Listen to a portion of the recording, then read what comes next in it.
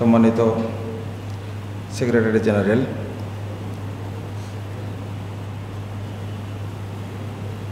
ঐক্যবদ্ধভাবে দাওয়াতি কার্যক্রম পরিচালনা করা শেখ তো চলে আসছেন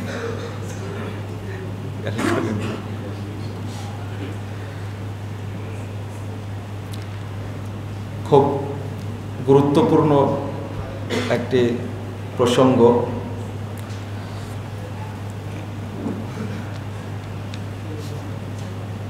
আমরা একটা আয়াতের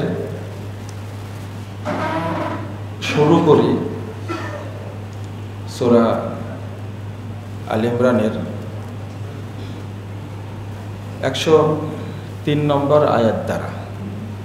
কিন্তু এর আগে এই আয়াতটা হলো, ওয়াতাসিমু বিহাবলিল্লাহ জামিআউ ওয়ালা তাফাররাকু। আমি আশা করছি আপনাদের কাছে যে হয়তোবা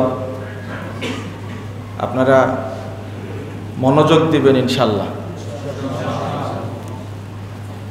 মোবাইলগুলো বন্ধ করে রাখবেন আর অন্যদিকে খেয়াল নিয়ে যাবেন না।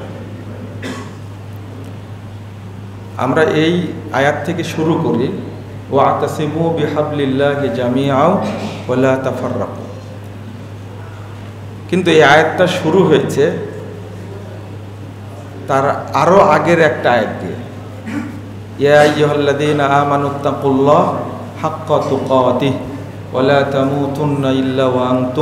মুসলিমুন। এখান থেকে শুরু।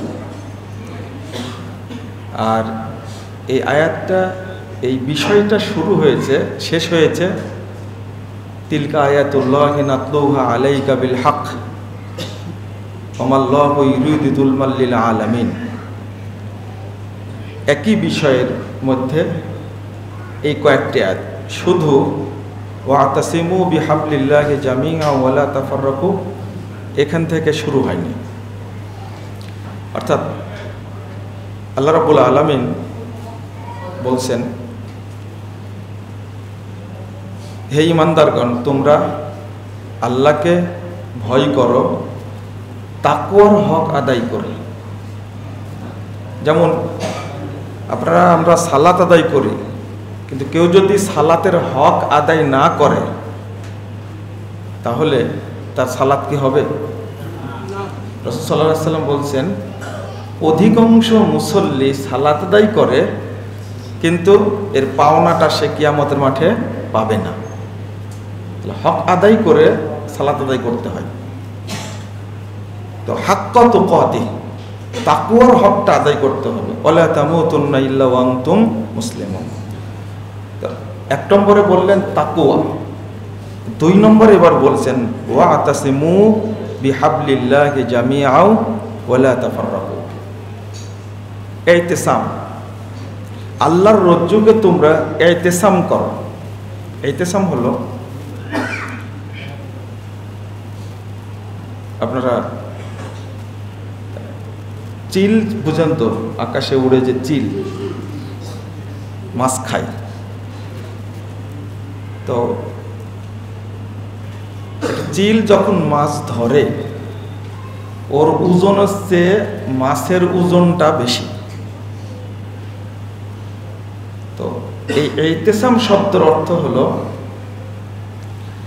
এই চিলের নখ নখ বুঝছেন তো নখ? ও যদি কোনো রকম ভাবে নখ বসা দিতে পারে, তাহলে ও উঠে উঠে নিয়ে যাবে। যদিও তার ওজন কম, কিন্তু শিকার যে তার ওজনটা তার চেয়ে অনেক বেশি। আল্লাহ রব্বুল আলমিন এই শব্দটা ব্যবহার করছে। রসুল সাল্লাহ আলিবাসাল্লাম এই শব্দটা ব্যবহার করেছেন। ইয়া ইউহান নাস, লাইন তাসামতুম হে মানব মণ্ডলী, আমি তোমাদের মধ্যে যা রেখে গেলাম, তা যদি তোমরা এই তেসাম করো। আর আল্লাহ কি বলছেন?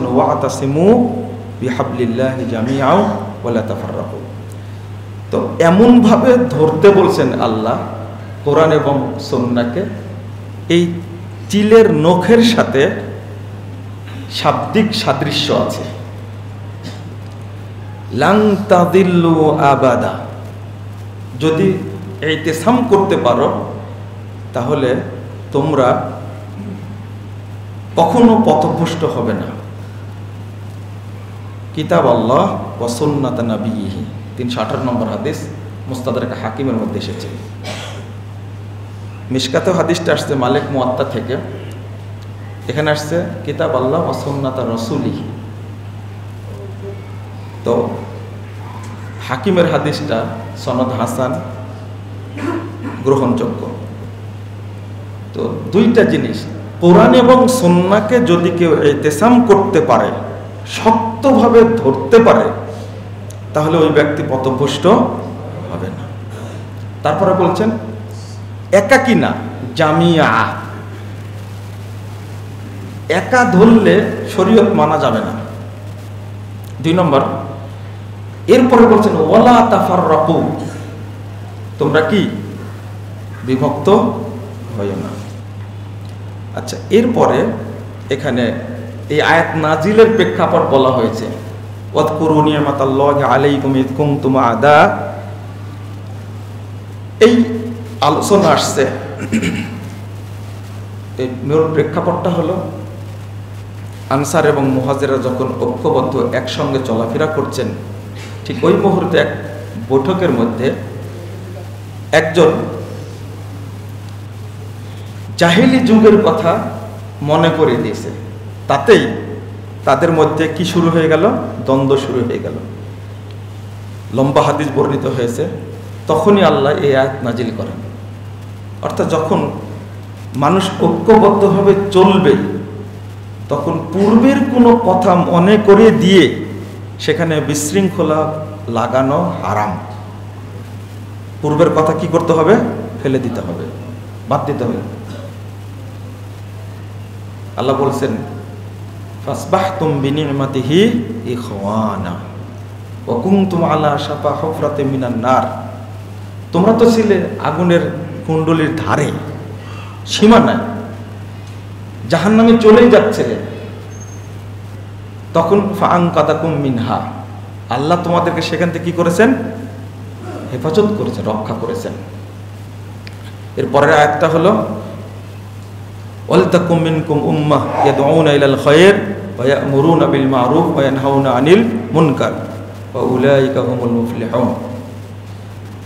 তোমাদের মধ্যে এমন একটা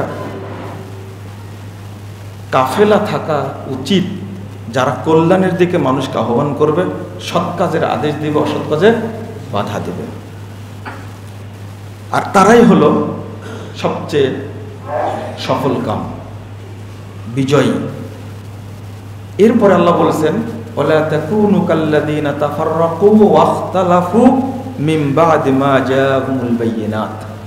তোমরা তাদের মতো হইও না যারা দলে দলে বিভক্ত হয়েছে এবং ইখতিলাফ করেছে। শরীয়ত আসার পরে বিভক্ত হওয়া, ইখতিলাফ করার কোনো সুযোগ নেই। উলাইকা লাহুম আযাবুন আযীম। এরপর আল্লাহ বলছেন, যারা বিভক্ত হবে, ইখতিলাফ করবে, তাদের জন্য মর্মন্তুদ শাস্তি অপেক্ষা করছে, রয়েছে। এরপরে আল্লাহ বলছেন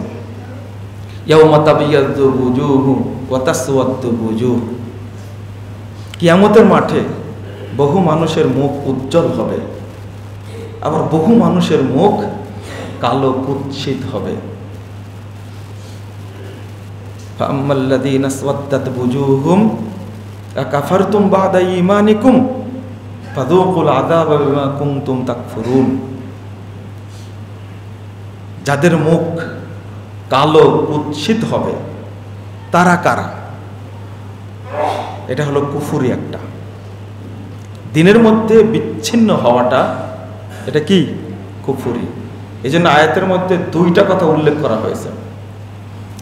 এখানে ইবনু আব্বাস রদিয়াল্লাহ তিনি বলছেন, ইয়াউমা তাবিয়াদু উযুহু আহলি সুন্নাহ ওয়াল জামাআহ।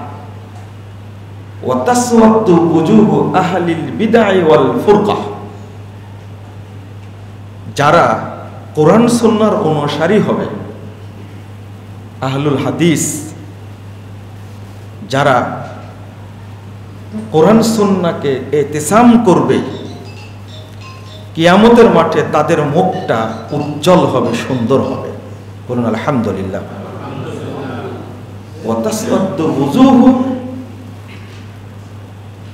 আহলিল বিদআ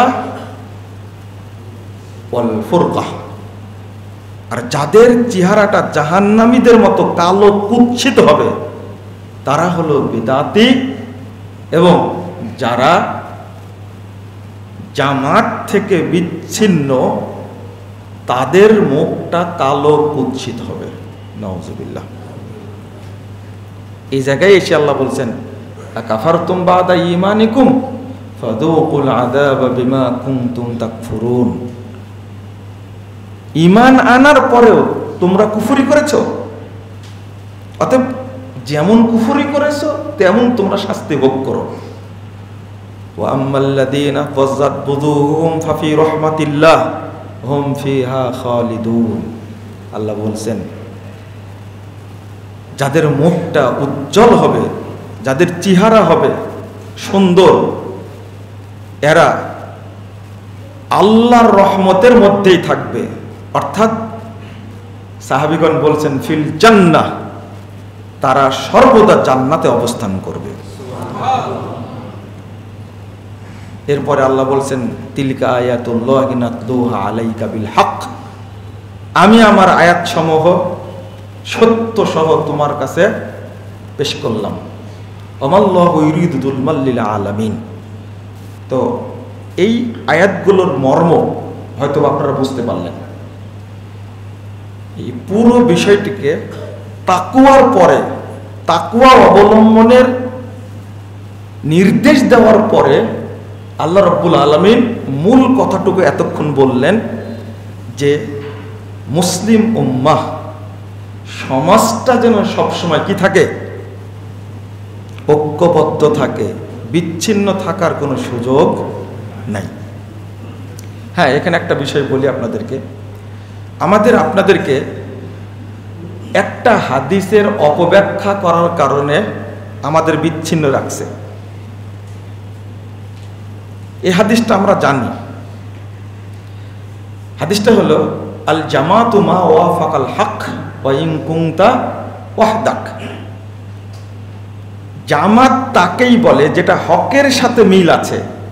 ওয়াইন কুংতা ওয়াহদাক, যদিও তুমি একজন হও। মনে করেন নারায়ণগঞ্জে আমি একজন হকের উপরে আছি। তাহলে কি হলো? আমি একা একটা জামাত, তাই না? এটাই তো অর্থ। আমি খুলনায় আছি। খুলনাতে কেউ যদি না থাকে, আমি যেহেতু হকের উপরে আছে, আমি একা একটা কি? জামাত। এই জন্য হাদিসটা এইভাবে বোঝার কারণে আমাদের মধ্যে জামাতের কোনো গুরুত্ব নাই। হাদিসটার অর্থ কিন্তু এটা না। হাদিসটা শুরু হয়েছে কোথায় থেকে? শুনবেন না তাহলে। হাদিসটা শুরু হয়েছে। এটা আসার, ইবন মাসুদ রদি আল্লাহর বক্তব্য। তিনি একদিন তার বন্ধু আমরুবন মাইমুন তাকে বলছেন, তুমি তো এই এলাকার সবচেয়ে বড় ফকি, আতাদ্রি বা মাল জামা মাহিয়াল জামা তুমি কি জানো জামাত কাকে বলে? তখন তিনি বলছেন, লা আদ্রি, আমি জানি না। জামাত কাকে বলে আমি জানি না। এবার তিনি বলছেন, আপনারা এটা ভালো করে শুনেন, ওই জন্য মনোযোগ আকর্ষণ করেছে আপনাদের। তিনি বলছেন, ইন্না জামহুরান নাস ইদা ফারাকুল জামাহ যখন অধিকাংশ মানুষই জামাত থেকে বিচ্ছিন্ন হয়ে যাবে, ঐক্যবদ্ধ আহলুল হাদিস একটা জামাত সেখান থেকে একজন, দুইজন করতে করতে অনেকেই চলে গেল।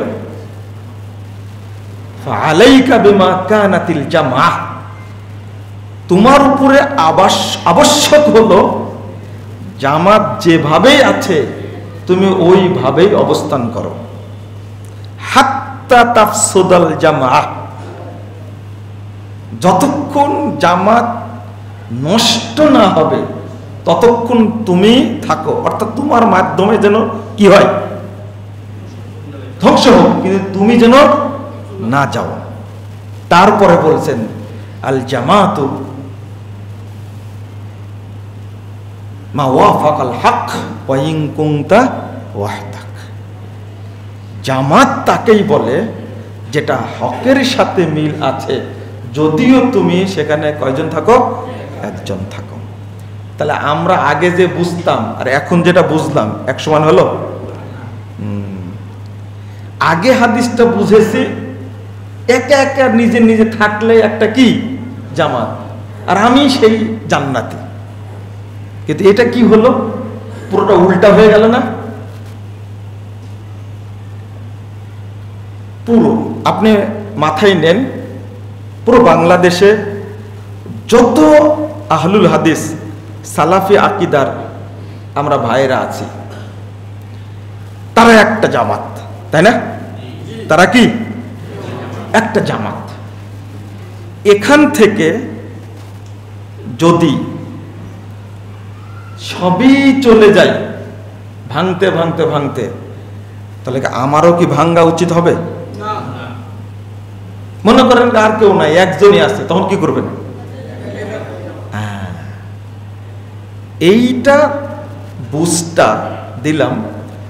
ইবনু আব্বাস রদিয়াল্লাহ তিনি বলছেন যে এত কড়া বাক্য কড়া শব্দ, কয়েকটা হাদিস আমি আপনাদের সামনে ছোট ছোট করে অনুবাদ করি। তাহলে আপনাদের কাছে আরেকটু ভালো লাগবে যে তিনি কি বললেন? কিয়ামতের মাঠে দুইটা শ্রেণির লোক, এক শ্রেণির চেহারা হবে জান্নাতীদের মতো। তারা কারা? আহলুসন্না ওয়াল জামা আহল, লা ইসমা লাহুম ইল্লা ইসমুন ওয়াহিদুন ওয়া হুয়া আহলুল হাদিস। আহলুস সুন্নাহ ওয়াল জামা বলতে এক কথায় বোঝানো হয় যারা আহলুল হাদিস। তো আর যারা, যাদের চেহারাটা কুৎসিত কালো হবে, তারা কারা? আহলুল বিদাই ওয়াল ফুরকা। যারা বেদাতি এবং এই জামাত থেকে কি? বিচ্ছন্ন, বিচ্ছিন্ন। তাহলে বিচ্ছিন্ন অবস্থায় থাকা যাবে না। তিনটা হাদিস আসছে এখানে। রসুল সাল্লাহ আলী আসাল্লাম বলছেন, একুশশো পঁয়ষট্টি, ছেষট্টি, সাতষট্টি, এই তিনটা তিরমিজির হাদিস। রসুল সাল্লাম বলছেন, আলাইকুম বিল জামা তোমরা তোমাদের উপরে ফরজ হলো ঐক্যবদ্ধ থাকা। ওয়াজিব ঐক্যবদ্ধ থাকা। কেন? ওয়াইয়াকুম আল ফুরকা। তোমরা বিচ্ছিন্ন হওয়া থেকে সাবধান থেকো।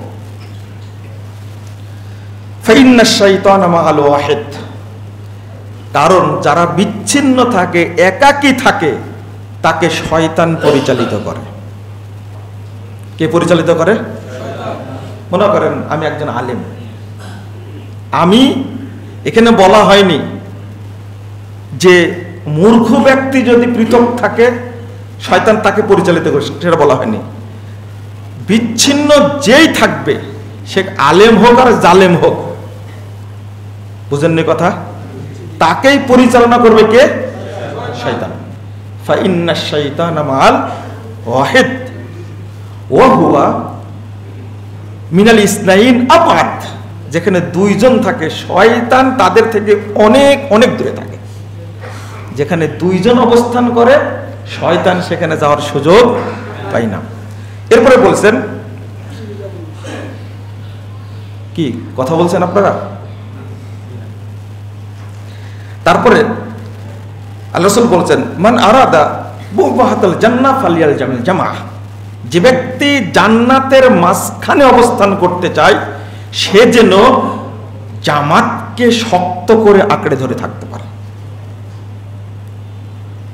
যে ব্যক্তি জান্নাতের মাঝখানে অবস্থান করবে, তার উপরে ওয়াজিব কি হলো? সে জামাতকে আঁকড়ে ধরে থাকবে, থাকে যেন সে। এরপরে রসুল্লাহ সাল আলী আসাল্লাম আরও তিনটা কথা বলেছেন, আমি ওইদিকে যাব না, আমি সময় পাবো না অতটা। রসুল সাল্লাহ আলী আসাল্লাম আর একটা কথা বলছেন, আল জামাতু রহমাতুন ওয়াল ফুর কত আদাবুন মুস্তাদে আহমদ, উনিশ হাজার তিনশো সত্তর নম্বর হাদিস। জামাতটা হলো রহমত, আর বিচ্ছিন্ন হওয়াটা কি? গজব।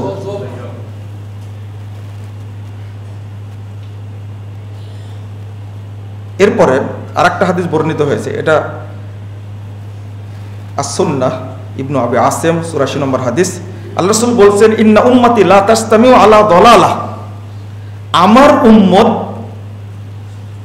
কখনো ভ্রষ্টতার উপরে ঐক্যবদ্ধ হবে না।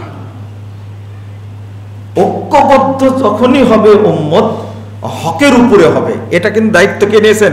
আল্লাহ নিয়েছেন। আল্লাহ রসুল বলছেন, আমার উম্মত ঐক্যবদ্ধ হলে কখনো ভ্রষ্টতার উপরে হবে না। এরপরে বলছেন, ফাইদা রাইতুমুল ইখতিলাফ আলাইকুম বিসাওয়াদিল আদম। যখনই তোমরা ইখতিলাফ দেখতে পাবা, তখনই যারা ঐক্যবদ্ধ আছে সাওয়াদাল আজম তখন তোমরা তাদেরকে আঁকড়ে ধরো।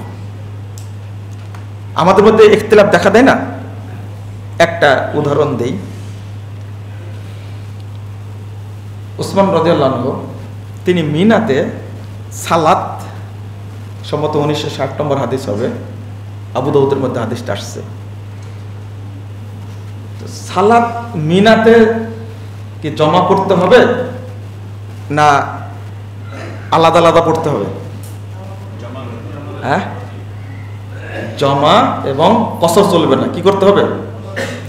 কসর চলবে, কিন্তু কি চলবে না? জমা চলবে না, মিনাতে। যারা হাজিগণ, তারা কি করবেন? সালাদ কসর করবেন, কিন্তু কি করবেন না? জমা করবেন না। তো উসমান রদি আল্লাহ তিনি কসর করলেন না। তিনি কিন্তু খলিফা। তিনি পুরা পড়লেন। তো ইবনু মাসুদ রদি আল্লাহ অনেক অভিজ্ঞ সাহাবি, তিনি বলছেন যে আপনি সালাদ পুরা পড়ছেন কেন? রসুল সাল্লাহ সাল্লাম কসর করেছেন। এখন এখতেলাফ হয়ে গেল না? কি করবেন এখন? ওসমান রাজি আল্লাহ তিনি করছেন, পুরো সালাদ পড়ছেন। আর ইবনু মাসুদ রাজি আল্লাহ তখন বলছেন কি? কসর। এবার কি করবেন বলেন তো দেখি। ইবনু মাসুদ রাজি আল্লাহ জানেন যে আল্লাহ রাসুল সালাদ কি করেছেন? কসর করেছেন এখানে, মিনাতে। তিনি করছেন পুরা। আপনি কি করতেন বলেন উত্তর দেন। তাহলে ভালো হবে, বুঝলে ভালো হবে। কি করবেন? কসরই করবেন, তাই না? যেহেতু আল্লাহ রাসুল কি করেছেন? কসর করেছেন। দেখেন, আমাদের মন আর আপনাদের সাহাবিদের মন কত তফাত ওসমান রদিয়ালের সাথে তিনি পুরোই সালাত পড়লেন। কি বললেন জানেন? আল খেলাফু সার কারণ এখতেলাফ করাটা, এই মতভেদ তৈরি করাটা, এটা হলো অকল্যাণকর। খলিফার সাথে তিনি পুরো সালাত পড়লেন, তিনি কসর করলেন না। কারণ তিনি এখানে কি করতে চাননি? ইখতলাফ করতে চাননি। শেষ হয়নি কথা, একটু শোনেন। উসমান রদি মিনাতে তিনি কসর করলেন না। কিন্তু যখন ইবনু মাসুদ রাজি আল্লাহর কাছে এবং অন্য সাহাবিদের কাছে হাদিসটা জানলেন, এই সাহাবি ছয় মাস পর্যন্ত কসর করেছেন কয় মাস পর্যন্ত? ছয় মাস পর্যন্ত। বলেন, এখানে ইবনু মাসুদ রাজিয়াল্লাহর ধৈর্যের মধ্যে কত কল্যাণ ছিল? খেয়াল করেছেন? তিনি জানলেন মানুষের কাছে। আসলে কি করতেন? এই যে অল্প একটু ধৈর্যের কারণে কতগুলো বরকত দিলেন। কসরটা এত ভালোভাবে বুঝলেন যে তিনি সফরে ছয় মাস থেকেছেন, ছয় মাসে কসর করেছেন। উসমান রাজিয়াল্লাহ বুঝলেন না মনে হয় কথাটা আপনারা? বুঝেছেন কি? তাহলে কি? এই যে উদাহরণ দিতে যেয়ে আমাদের মন আর সাহাবিদের মনের মধ্যে কি হয়ে গেল? পার্থক্য হয়ে গেল। তো তুমুল ইখতিলাফ, যখন তোমরা ইখতিলাফ দেখতে পাবে, তখন কি? ফালাইকুম বিসাওয়াদিল আদম বড় জামাত যেটা, হকের উপরে প্রতিষ্ঠিত জামাত, সেইটাকে তোমরা কি করবে? আঁকড়ে ধরবে তখন। আর যখন ইখতলাফটা হবে, এই মাসালাগত ফেকি মাসালাগত, তখন ইখতলাফটা গুরুত্ব বহন করে না। আকিদাগত কোনো ইখতলাফ সাহাবিদের মধ্যেও ছিল না, তাবেদের মধ্যেও ছিল না, তাবে তাবেদের মধ্যেও কি? ছিল না। আমাদের মধ্যেও থাকার প্রশ্ন আসে না। আকিদার সাথে কোনো আপোষ নেই? কোনো আপোষ নেই। আপনি যাই বলেন না কেন ছাত্র সমাজ দ্বিতীয় স্বাধীনতা অর্জন করেছে। আনন্দে শহীদ মিনারে তারা নিরবতা পালন করছে। আর আপনি সেখানে গিয়ে নিরবতা পালন করবেন। এটা তো আপোষ করা যাবে না এখানে। এটা কি?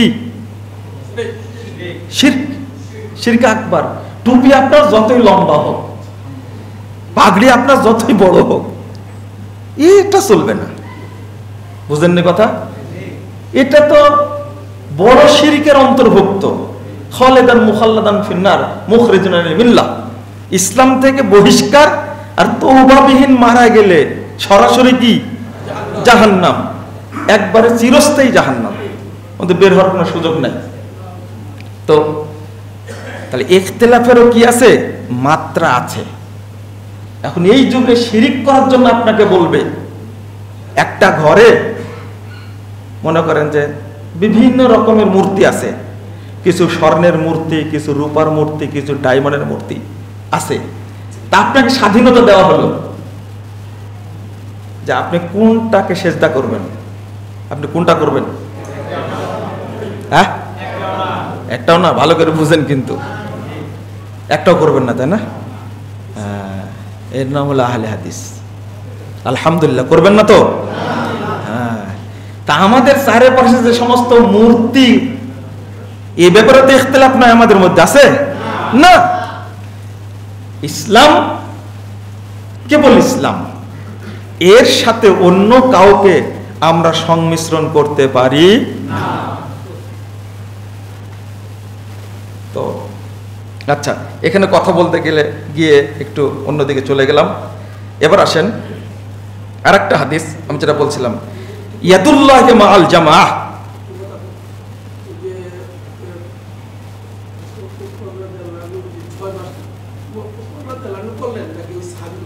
না, উসমান রাজিয়াল্লাহ আপনারা বুঝছেন না? তিনি মিনাতে কি করলেন না? কসর করলেন না। পুরো করলেন যখন শরীয়তটা জানতে পারলেন, তখন ছয় মাস পর্যন্ত কি করেছেন? কসর করেছেন। মোসান্নফ সাহেবের মধ্যে হাদিসটা আসছে, সহি সনদে। আরেকটা জিনিস, রাসূল সাল্লাল্লাহু সাল্লাম বলছেন, আরেকটা হাদিস, তিরমিজির হাদিস 2167 নম্বর হাদিস। উম্মতি আলা দলালা। এবার শুনেন।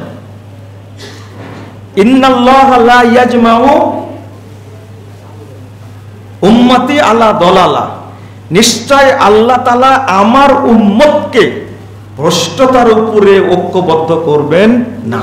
তাহলে দায়িত্ববার কে নিলেন? আল্লাহ। তারপর বলেছেন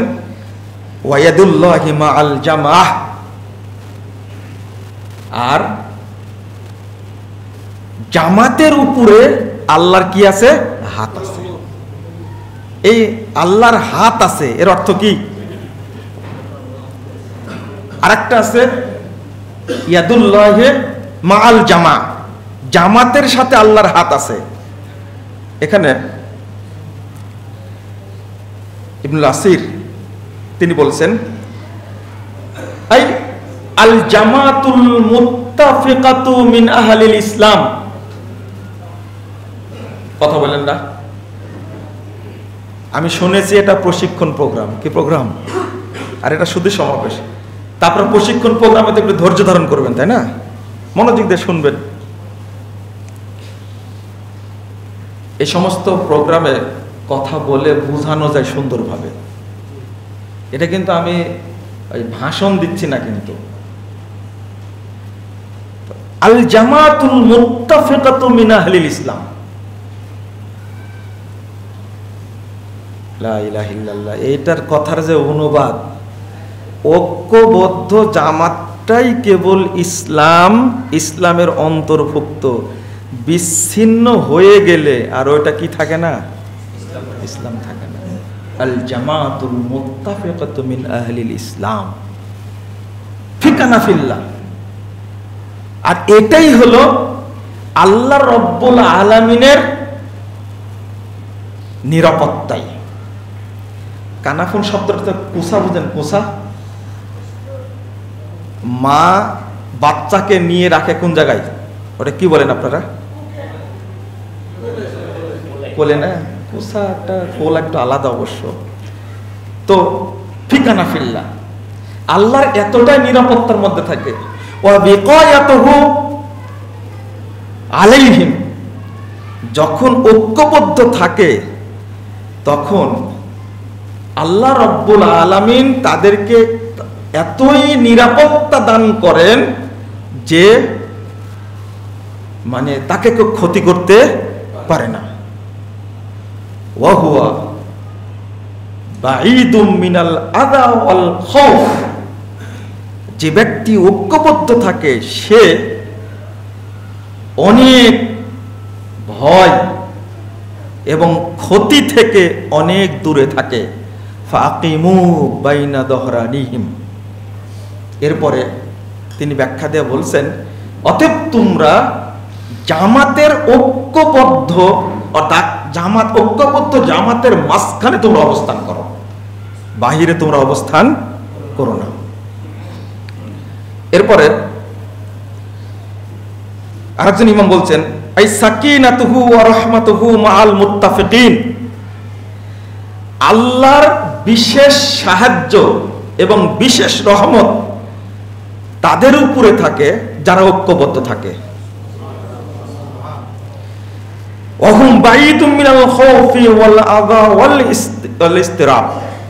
বিশৃঙ্খলা, ক্ষতি এবং ভয় থেকে তারা অনেক দূরে থাকে। ঐক্যবদ্ধ থাকলে শয়তান আক্রমণ করতে ভয় পায়। তারপরে, ফাইদা তাফাররাকু জালাতিস সাকিনা ইল্লাল্লাহ। যখনই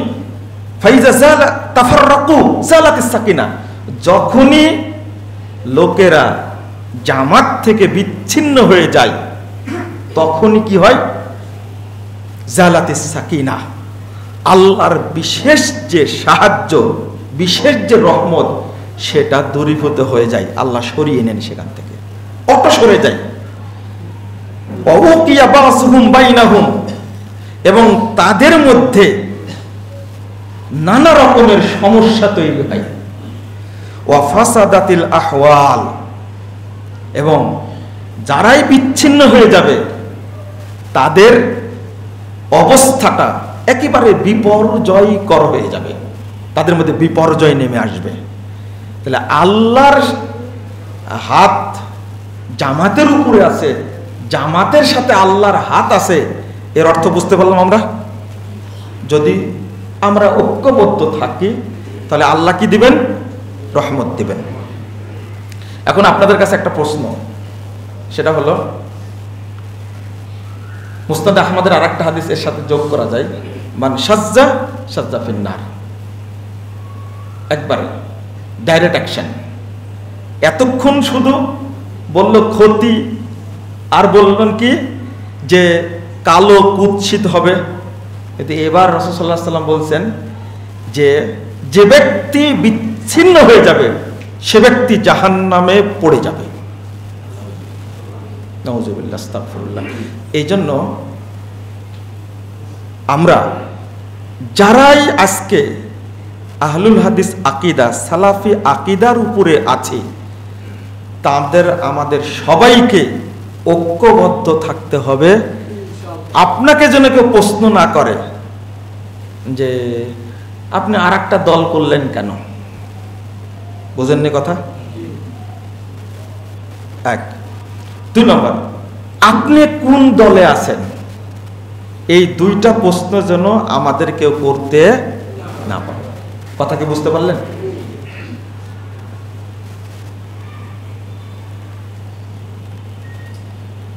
আমি আপনি। আজকে এতটাই ভাগ্যবান, আলহামদুলিল্লাহ, যে আমরা মনে করি যে আমরা সবাই কি ঐক্যবদ্ধ। বলেন, আলহামদুলিল্লাহ।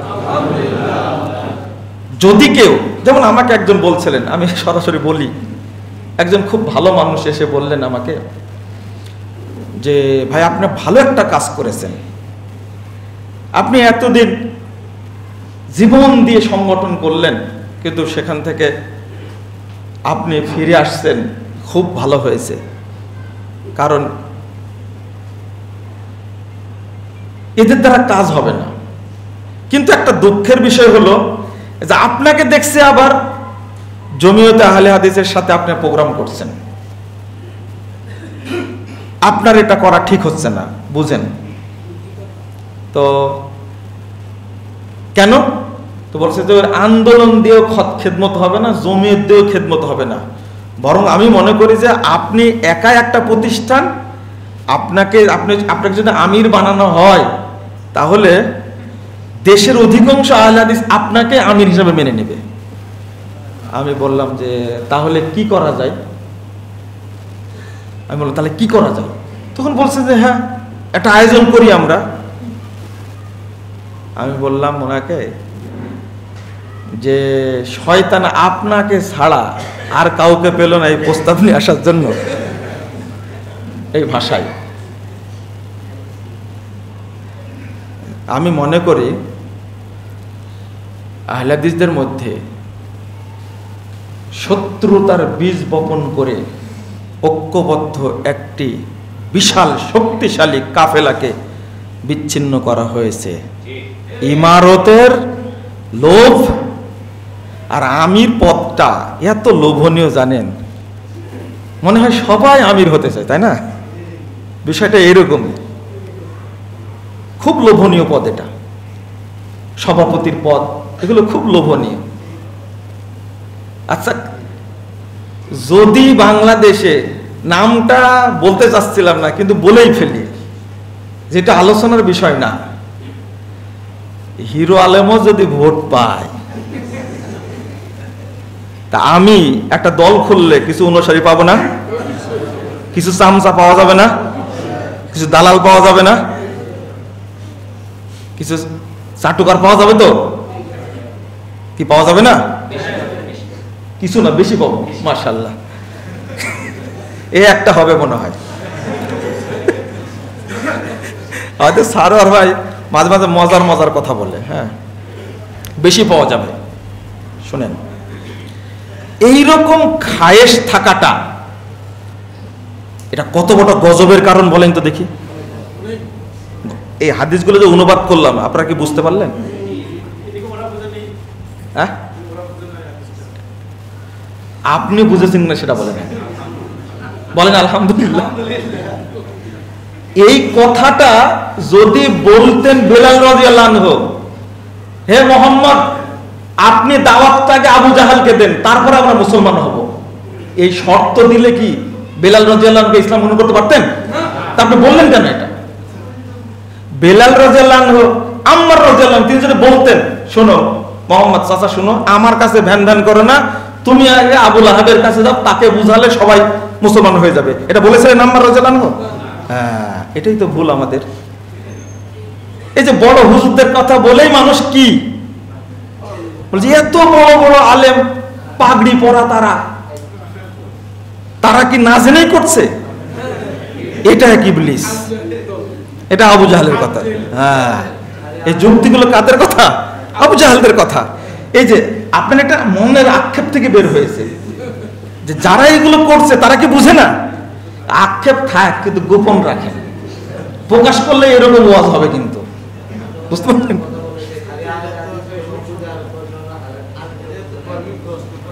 হ্যাঁ হ্যাঁ হ্যাঁ।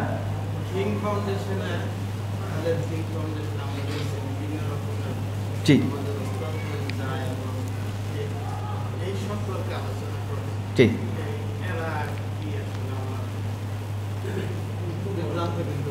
ও আচ্ছা আচ্ছা ঠিক আছে, আমি বলছি, শোনেন, এখানে আমি সবাইকে ঐক্যবদ্ধ থাকার কথা বলছি। এর বাইরে কিছু বলেছি কি? না। এই রুলটা আপনি মেনে চলেন।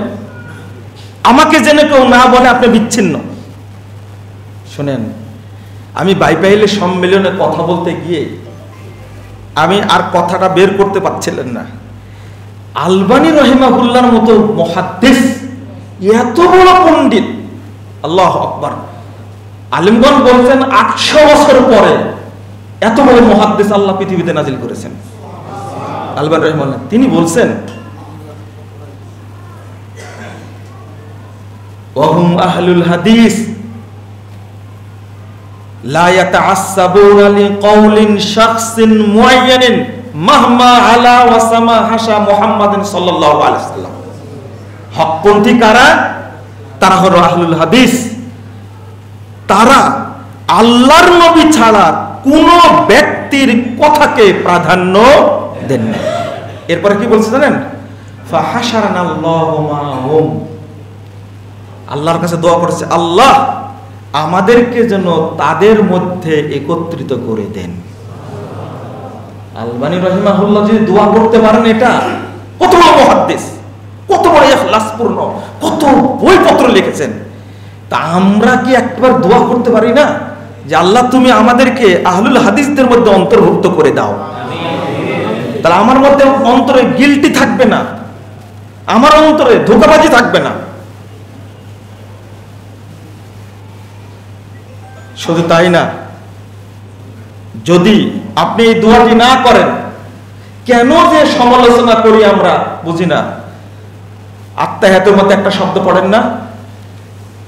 আসসালামু আলাইকা। তারপরে কি?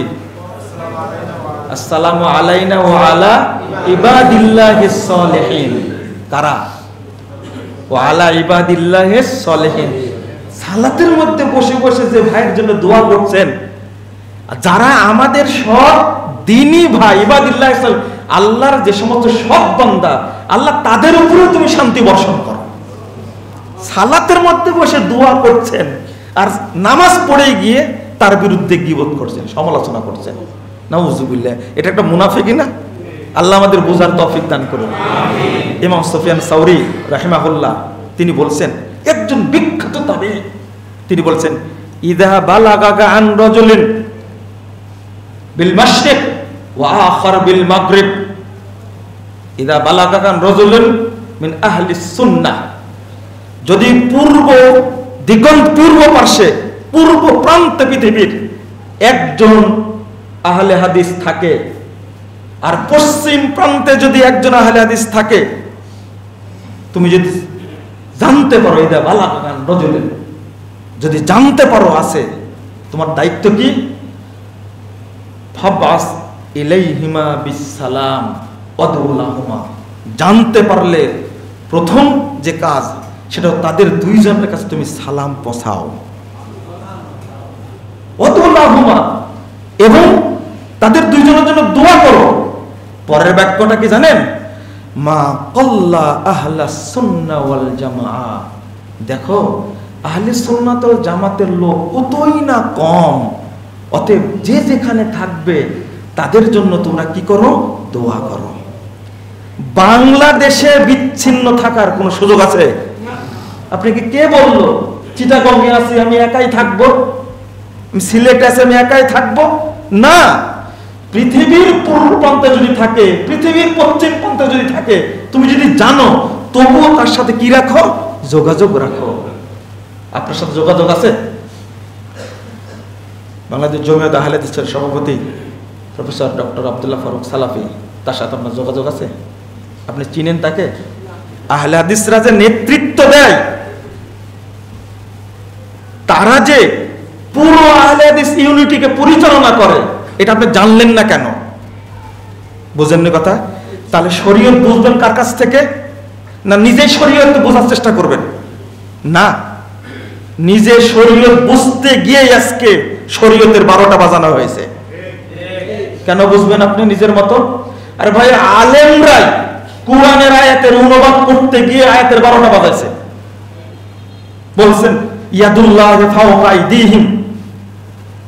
যে বায়াত করার অনুবাদ করছেন, যে এই হাতের উপরে আল্লাহর হাত আছে। কথা কি বুঝতে পারছেন? বায়াতের ওয়াজ করতে গিয়ে বলছেন কি, এই হাতের উপরে আল্লাহর কি আছে? তো বলেন, নাউজুবিল্লাহ। এখানে বারোটা কার বাজছে? বলেন তো দেখি। আল্লাহর মর্যাদা আছে এখানে? কি বুঝলেন তাহলে আপনারা? আয়াতের অনুবাদ করে বলছেন।